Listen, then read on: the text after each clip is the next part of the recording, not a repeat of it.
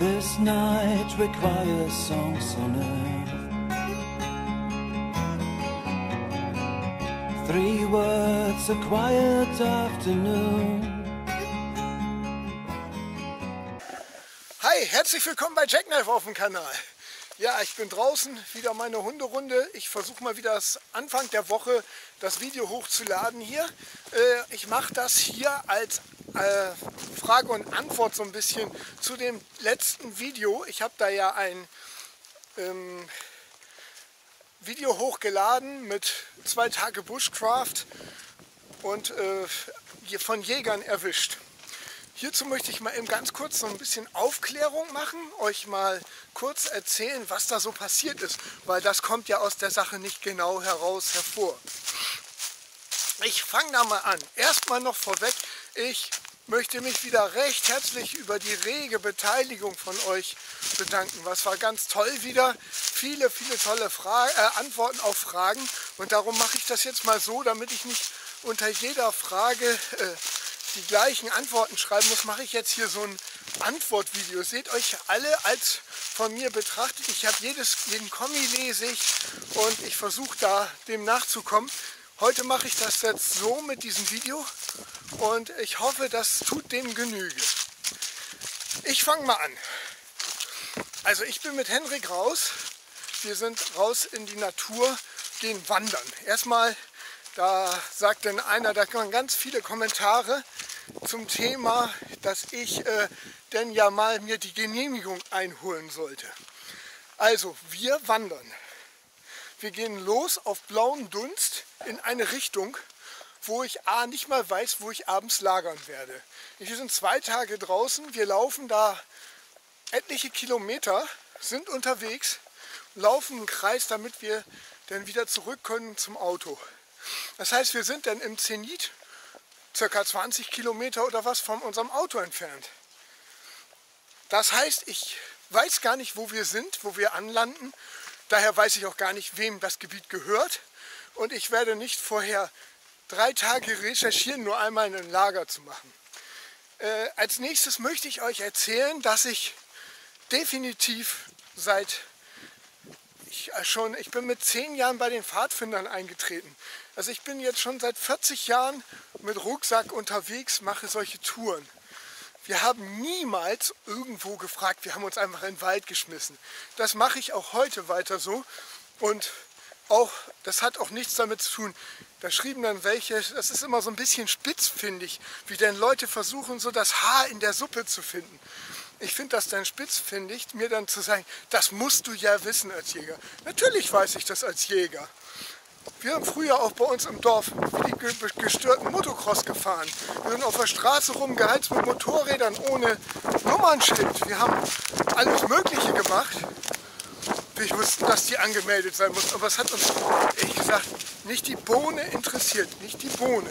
Weil das ist so auf dem Dorf. Das interessiert uns nicht. Ich bin früher auch als mit, mit einer Enduro durch die Wälder geheizt. Ich hab, bin heute auch Jäger und ich mache das immer noch. Ich liebe es, Enduro zu fahren. Und ähm, ich bin, wir sind früher mit Motocrossern ohne Zulassung durch die, durch die Stadt geballert. Das war schon lange her. Das, äh, aber die Polizei, das war unser Spaß, uns Rennen mit der Polizei zu geben. Das war einfach so. Und äh, ich bin auch nicht so ein, so ein Bürger, der sich so, so komplett an allem festhält. Also das bin ich nicht. Ähm, und daher, ich bin seit 20 Jahren out, seit, seit 40 Jahren Outdoor und wenn ich irgendwo im Wald pennen will, dann mache ich das einfach. Das nehme ich einfach in Kauf, dass ich erwischt werde. Ich gräme mich auch nicht darum, dass wir erwischt wurden. Ich habe das nur mal das Video gemacht.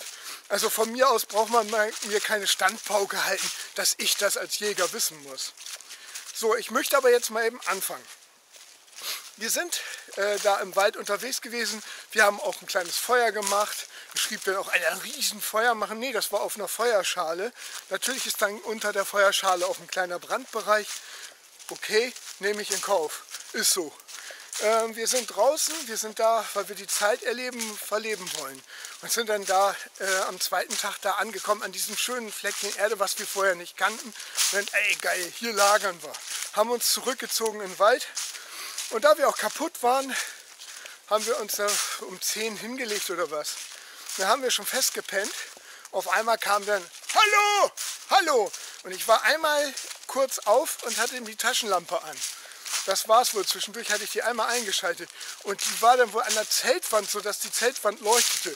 So hat uns der, äh, der Jäger dann wohl gesehen. Und dann standen die bei uns. Hallo, rauskommen. Okay, kommen wir raus. Ich sag, ja, kleinen Moment eben, ich muss mir mal eben eine Hose anziehen. Und dann, äh, kommen Sie raus. Ich sag, ja, ich muss mir eine Hose anziehen. Ich liege noch im Schlafsack, wir haben fest geschlafen. Bis dahin, also das Feuer war aus, wir haben alles aufgeräumt da, alles war ordentlich. Ähm, ja, nur die kleine Feuerschale stand noch da und unser Zelt. Wir sind Leute, die keinen Müll hinterlassen. Das ist ja sowieso obligatorisch. Ja, und dann äh, bin ich dann raus, so halb unterhosig, mit Stiefeln an und dann kamen erstmal zwei Lampen. Ich sag, wer ist denn da? Polizei! Wir sind bewaffnet. Ich sag so, dann haben die mich immer die ganze Zeit angeleuchtet und als ich näher kommen wollte, hat er dann gesagt, bleiben Sie da stehen, kommen Sie nicht näher. Und ich denke so, was ist denn das denn für Leute? Ziemlich uncool. Und dann habe ich irgendwann gesagt, Sie sind keine Polizisten. Ähm, Henrik stand neben mir, der sagte auch, nee, Sie sind keine Polizisten. Sondern weisen Sie sich aus. Und dann haben sie sich erst als Jäger zu verstehen gegeben und wurden immer pumpiger. Wir haben dann gesagt, hey Leute, wir haben geschlafen, wir sind Wandersleute, wir stören euch hier nicht. Ihr könnt da einfach, äh, ihr könnt da einfach, setzt euch doch auf euren Hochsitz irgendwo da hinten, das war weit weg, ähm, auch gar nicht in unsere Schussrichtung. Äh, setzt euch da auf euren Hochsitz und wir, da, da kommt ja, hättet ihr jetzt, jetzt habt ihr euer eigenes Wild vergrämt, weil ihr hier so rumgerannt seid. Und ja, dann sollten wir abbauen. Da habe ich denen noch erklärt, wenn sie uns einfach pennen lassen, haben sie weniger Störungen, dann können sie da weiter sitzen. Wollten sie aber nicht wissen. Äh, ich habe mich nicht als Jäger zu erkennen gegeben, äh, war erstmal nicht. Dann hat er mir irgendwelchen fadenscheinigen Kram erzählt, dass er, in welcher Gefahr ich mich begebe, dass ich erschossen werden könnte, wenn ich dann da lang gehen würde, abends, wenn ich irgendwie pinkeln gehe oder sowas. Ich sage, dann habe ich dann, dann wurde mir das zu bunt, weil ich bin ja nun mal auch Jäger. Ich bin, glaube ich, ein erfahrener Saunenjäger. Und heutzutage, äh, nein, ich kann kein Wildschwein vom Menschen verwechseln. Und dann habe ich zu ihm gesagt, dass er jetzt aufhören solle damit. Ähm, zwischenzeitlich hat der eine so getan, als wenn er die Polizei ruft, was er nicht getan hatte, weil da hinten war A schwerer Empfang. Das war arschweit draußen auf einem Kackdorf, wo kein, nicht mal die Polizei hätte selbst eine halbe Stunde fahren müssen. Ähm, ja, und dann wollte er uns dann auf diese Weise dann da, äh, wir sollten jetzt sofort hier verschwinden. Und ich habe ihm dann erstmal erzählt, äh, dass er, wenn er nicht eine Wildsau vom Menschen unterscheiden kann, wenn er darauf schießt, dann sollte er jetzt, sollte nicht wir nach Hause fahren, sondern er und sich ins Bett legen weil äh, das ist äh, eine Grundvoraussetzung für, das ist das Ansprechen, dass man eben das, was man beschießt, erkennt. Dann wollte er mir erzählen, dass wir da und da uns, wo, was wir hier alles für Gefahren haben. Ähm, Natürlich könnte ein Abpraller einen erlegen, aber das mache ich dann, wenn ich Gassi gehe, dann gehe ich mit dem Hund, wenn ich da wäre zum Beispiel, will der mich dann auch verscheuchen? Also es ist ja schwierig. Ja, dann habe ich, weil diese Typen waren hochgradig aggressiv und beleuchteten uns mit, mit starken Taschenlampen, sodass man selber nichts sehen konnte. Ich sage, machen Sie doch mal die Taschenlampe auf und leuchten mir nicht immer in die Fresse. Was soll denn der Scheiß? Und dann, äh, und weil ich einfach keine Lust habe, ich bin jemand, der solchen, ich gehe einfach blöden und dummen Menschen aus dem Weg und mache das nicht. Und äh, dann haben wir gesagt, ja, wir bauen eben ab, aber das dauert ein paar Minuten. Und dann haben wir uns angezogen dann fing der andere noch wieder an mit seiner Jagd zu erzählen. Ich sage ihm dann so langsam, kriegte er dann wohl mit, dass ich doch Jäger bin. Dann habe ich ihm mal erklärt, dass er, wenn er hier nicht, nichts erkennen kann, dann, und das ist, ist Vollmond, ich bin seit zig Jahren Jäger. Ich habe noch niemals bei Vollmond eine Sau geschossen, weil die Sauen sind schlau. Wenn das so hell ist, dass du auf dem Feld wie beim Hellicht, wie in der Dämmerung gucken kannst, gehen die nicht raus. Dann bleiben die im Wald oder im Kernschatten. Der, so ein alter Mann, der äh, die schießen so keine Sauen. Also äh, die, die gehen da, glaube ich, das ist oft bei so älteren Jägern, die gehen aus Tradition, weil Vollmond ist, gehen die raus. Und äh, ich wette, der Mann hat x Jahre auf, ähm, bei Vollmond keine Sau geschossen. Die, die schießt du eher, wenn, die, wenn das bedeckt ist und halb dunkel und dann ist das auch noch Glückssache. Das habe ich ihm noch mal erklärt und dann wurde er dann, äh, guckte er mich ganz doof an. Ich sage außerdem, falls ihr das noch nicht wisst, in deinem Alter seid ihr, könntet ihr auch noch dazu lernen, es gibt Thermalkameras. Also ich benutze sowas. Und äh, ich sehe auch, wenn du pinkeln gehst auf zwei Kilometer Entfernung, sehe ich deinen Pissestrahl. Und äh, das äh, guckte er mich ganz blöde an. Ich sage, wir bauen jetzt ab und wir gehen hier weg, weil ihr seid uns hier zu aggressiv. Aber das, der, der, Punkt war, wo ich jetzt drauf hinaus war, und dann beim Ab, haben wir abgebaut, dann bin ich mit Henrik einfach weggegangen, dann wollte er uns erzählen, wo wir lang zu gehen haben, dass wir da nicht lang gehen dürfen. Also er wollte uns erzählen, dass wir nicht zu unserem Auto zurückgehen dürfen, weil wir, wenn wir nach rechts abgebogen wären, hätten wir wenigstens, sonst hätten wir mitten in der Nacht, du weißt ja gar nicht, wo du hin sollst, du bist irre weit weg von deinem Auto. Und dann wollte der uns erzählen noch, dass wir da lang zu gehen haben und das war alles sehr, sehr hanebüchen. Beim Weggehen habe ich mich dann erstmal besonnen. Das, man ist auch aufgeregt. Ich versuche immer ruhig zu bleiben. In der Gastronomie habe ich gelernt zu deeskalieren, mich nicht dahin leiten zu lassen zu Aggressionen, weil die waren ja schon aggro genug. Und ähm, das war schon sehr grenzwertig, wie die sich benahmen. Und dann haben wir hinterher eigentlich festgestellt, Henrik und ich, die hatten dann auch keine Daten von uns, aber selbst wenn da was kommen würde, ähm, ja, wir haben eine Ordnungswidrigkeit begangen. Wir haben nämlich im, im Wald übernachtet äh, mit, mit einem Zelt und wir haben ein kleines Feuerchen angehabt. Okay, das ist äh, bedenkenswert, aber ich halte das ähm, für halbe Höhe, weil ich, äh, es ist einfach so, wer geht denn bei diesem Wetter raus? Guckt euch das an, wir haben heute Samstag, ich laufe jetzt hier schon eine Stunde rum und ich sehe keine Menschen hier allein im, in Stadtnähe, die Leute sind faul geworden, das geht keiner raus. Also wenn jemand sagt, dass wenn das jeder machen würde, nee, macht nicht jeder. Die Leute gehen nicht so weit raus. Sobald das nur ein bisschen regnet, sehe ich gar keinen mehr. Selbst die, den kommen ab und zu vereinzelt noch mal einer mit dem Hund. Aber sonst nichts. Wenn die Sonne scheint auf dem Sonntag, wenn ich hier lang gehe, ist es voll dann aber auch nur zwischen 14 Uhr und 17 Uhr. Und dann sind die alle wieder weg. Hier geht keiner übernachten und sitzt im, im Gebüsch und macht sich ein kleines Wärmefeuerchen. Das macht keiner. Also wenn da dieses Argument, wenn das jeder machen würde, ist totaler Schwachsinn.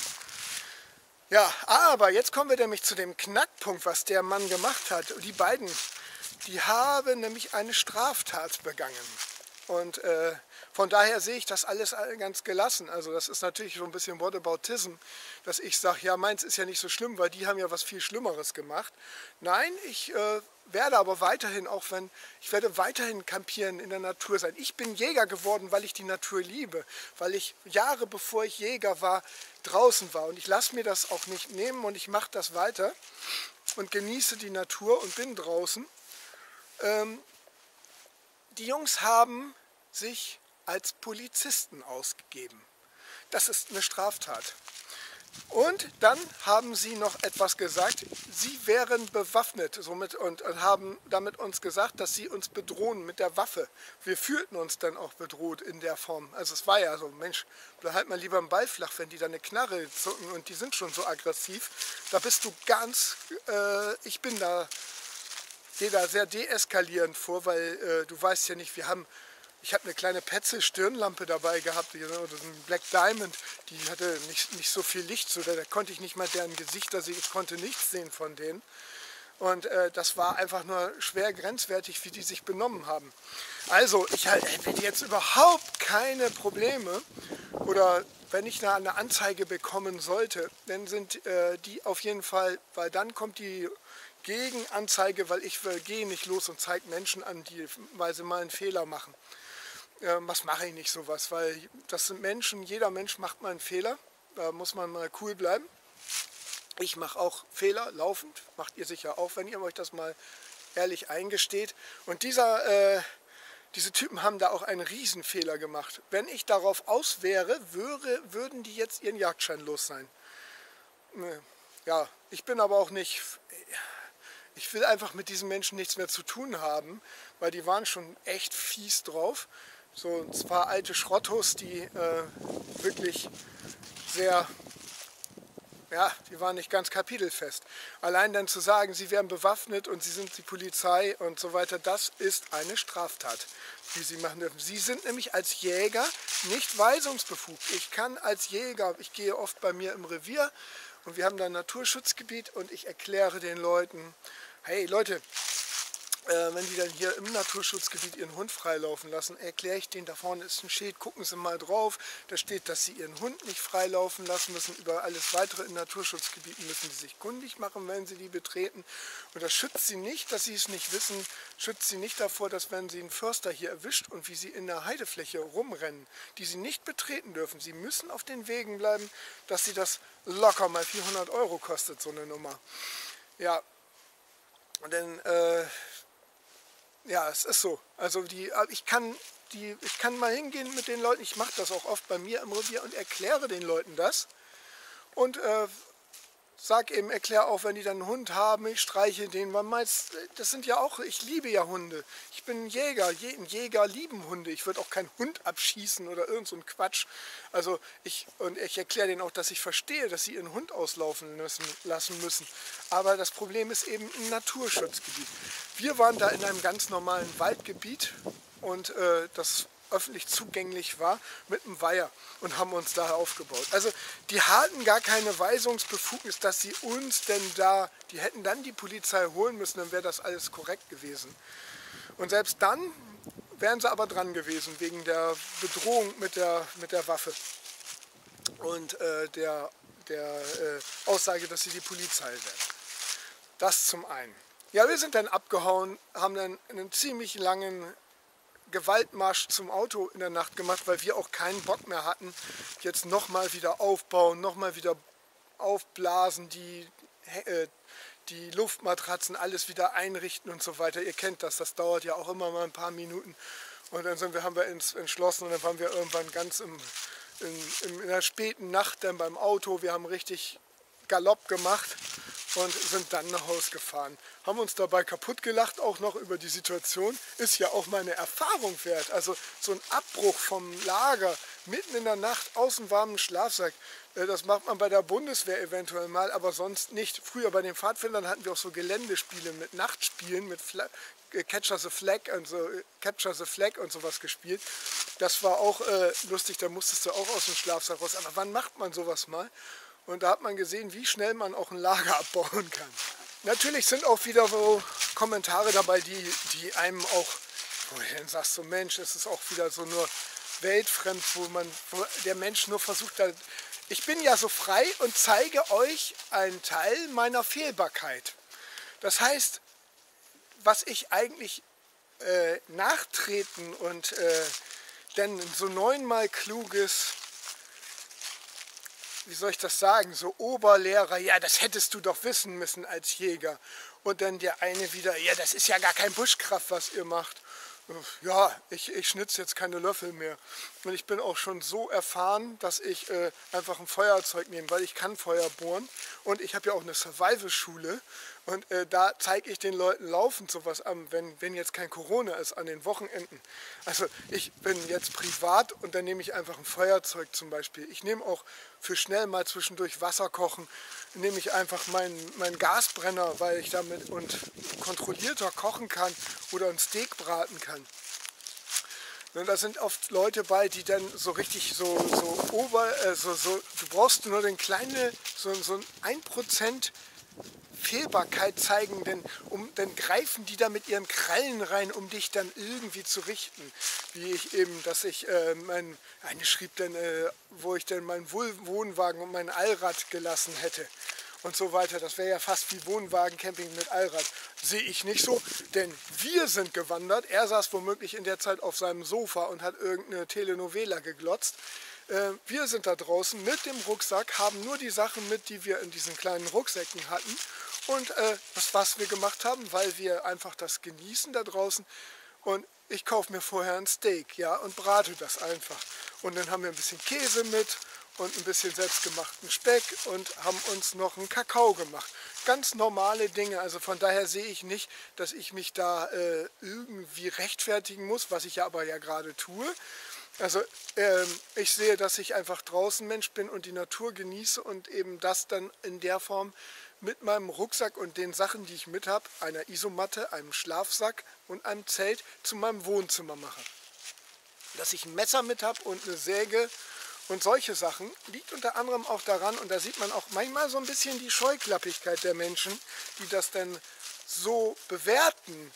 Ich mache ja YouTube für euch. Wo, wollt, wo denkt ihr denn, kriege ich die Bilder her für Reviews von Gegenständen, die ich euch zeige und reviewe, wenn ich die nicht im Einsatz bei meinen Touren mit habe? Also muss ich doch schon mehr mitnehmen, als wenn ich das nicht machen würde, YouTube machen würde, dann hätte ich auch gar keine Kamera mit gehabt, dann hätte ich keine Säge oder irgendwas gemacht, dann hätte ich einfach nur gewandert, abends da mir was Schönes zu essen gemacht, da wäre keine, kein Stativ dabei gewesen, keine zweite Kamera, denn das ist ja der Punkt. Also ich mache ja eben YouTube und dadurch habe ich ja Sachen eben mit, die, würde ich mal sagen, äh, zusätzlich sind, Add-ons sind, die man nicht unbedingt braucht. Auch wohl kam dann einer, mehrfach habe ich das gelesen, ja, dass ich mir da einfach Holz geklaut hätte, eine Holzentnahme gemacht hätte. Das kann man natürlich so sehen. Äh, das war Totholz, Bruchholz, da haben wir uns eine Stange von abgesägt, zwei Stangen und zerkleinert. Ich habe kein Frischholz gesägt, gar nichts. Wir haben einfach nur totes Holz genommen, was im Windbruch lag. Also von daher auch überhaupt kein Thema. Sehe ich nicht, dass ich mich dafür anklagen lassen muss. Ähm, immer dran denken, wenn ihr solche so, so Spitzfindigkeiten auch rausbringt, denkt mal drüber nach, ob ihr selber so erhaben seid, dass ihr, ob ihr jeden Tag so perfekt seid, dass man so anklagen kann. Das ist für mich auch immer ein Thema, wo man auch mal drüber nachdenken sollte, wenn man Kommentare schreibt. Bin ich denn selber wirklich besser? Nehme ich mir nicht selber einen Stock. Wo ist denn der Unterschied, ob ich jetzt einen Ast absäge oder ich gehe in den Wald, weil du guckst mich ja, weil du irgendwie eine Affinität zu Messern oder irgendwas hast. Also wirst du ja genauso wie ich jetzt mit der Säge Äste absäge, wirst du bei gehen dir auch mal einen Ast abmachen und schnitzen. Hast du den Grundstücksbesitzer gefragt, ob du dir den Ast von seinem Baum abmachen darfst? Also so, Ne? Also da muss man ja mal drüber nachdenken. Ich, ich denke immer so, da muss, das ist immer so mit so selektive Wahrnehmung ist das ja. Ja, liebe Leute, auf jeden Fall finde ich das sehr interessant. Ich mache dieses Video auch einem, eben, um mal für mich was klarzustellen. Ähm, einen guten Aspekt fand ich, da schrieb äh, ein Kommentator, dass äh, ich vielleicht mal ein Video machen sollte, Aspekte Bushcraft oder Outdoor-Wandern gegen Jäger. Und ich sehe das gar nicht so mit Gegenjäger. Ich sehe das für Jäger. Ich werde da auch noch ein Video drüber machen. Das finde ich ist eine sehr, sehr gute Idee von dir. Dankeschön. Also das fand ich äh, sehr inspirierend. Vorweg möchte ich noch sagen, was ich mich im Nachhinein auch noch mal drüber gefragt habe, weil ich noch keine Buschkrafter direkt so bei mir getroffen habe, die unbedingt unter meinem Hochsitz lagerten mit einem kleinen Lagerfeuer. Ähm, und erst jetzt habe ich mir mal so richtig die Gedanken gemacht. Da ich aber ja schon immer im, im versuche mit den Leuten ruhig und höflich rüberzukommen. Ich möchte nicht so ein, so ein Scheißjäger sein, der andere Leute da verjagt, sondern ich möchte denen erklären, warum was ist vielleicht. Wenn ich solche Leute treffen würde bei mir im Revier und ich kriege das mit und die sitzen noch am Feuer und das sieht alles vernünftig aus. Also ich denke dann auch so, eigentlich sind das doch die Jäger der Zukunft. Ich war doch auch mal genauso wie die dann da sitzen. So denke ich darüber. Wenn die denn da wären, dann gehe ich eben in einem anderen Teil meines Revieres und setze mich dahin, weil das ist groß genug. Ähm, ich würde hingehen, ihnen eben erklären, dass und mal eben mit denen sprechen. Ich würde die definitiv, das weiß ich, nicht verjagen, weil in dem Moment, wo die nämlich bei mir da anfangen rumzurödeln, machen die mehr, mach, sorge ich durch diese Rödelei, die ich denen auferlege, dass ich noch mehr Unruhe in dem Revier habe. Also dann kann ich da eher umswitchen und die da lassen und gehe einfach einen Hochsitz weiter. Das würde ich machen, definitiv. Ich würde eventuell auch mit denen noch eben reden, und erzählen und klar zu machen, dass ich auch hier bin, dass sie eben merken, dass äh, dass man, äh, dass das Einfluss nimmt. Bin ich mir ja auch bewusst, dass ich mit unserer Kampiererei Einfluss genommen habe auf für das Verhalten von anderen Menschen und in denen auch in dem, der Form ja was aufgedrückt habe, dass sie da vielleicht behindert wurden. Ja, das würde ich äh, so machen. Also da habe ich definitiv drüber nachgedacht, weil ich das jetzt schon mehrfach mich auch mit bei mir im Revier mit Hundeleuten und so auseinandergesetzt habe. Also was heißt einfach ruhig gesprochen habe, denen versucht habe, das zu erklären mit dem Naturschutzgebiet und eben aber auch Verständnis dafür zeige als Hundebesitzer, dass mein Hund ja auch Auslauf braucht und ich das verstehe, dass ihr Hund auch Auslauf braucht. Von daher, die sind eigentlich viel näher eigentlich bei uns, weil die gehen ja noch raus. Ich lasse mir bloß eben nicht gerne sagen von jemandem im Netz, ich will jetzt auch keinen davor verurteilen. Da sind viele Menschen, die gar nicht rausgehen und da möchte ich eben auch nicht von denen einfach verurteilt werden für Sachen, wo sie sich eigentlich, wo sie noch weiter von weg sind. Daher, also ich denke immer, die Leute sind, wir haben viel zu, zu verlieren eher als Jäger. Und ich denke auch, wenn man mit den Leuten spricht, gewinnt man mehr. Und wenn man sich auch wenn ich mit diesen Leuten einfach, äh, wenn ich denen dann meine no Mobilfunknummer gebe und so, wenn die dann fragen, wann sind sie denn da, das wäre ja eine viel einfachere Sache. Dann können die da im Waldstück hinten mal wegen auch campieren und äh, können mich ja vorher anrufen und dann das eben abtimen. So wird die Sache ja eine coole Nummer. Dann kommt man vielleicht noch dazu, trinkt mal ein Bierchen mit denen oder was. Ist ja eine, ist, man, man, man gewinnt ja durch Menschen, die man kennenlernt. Das ist meine Auffassung. Ich lebe sehr offen mit Menschen, die mit Freunden und so weiter. Wir haben ein sehr offenes Haus.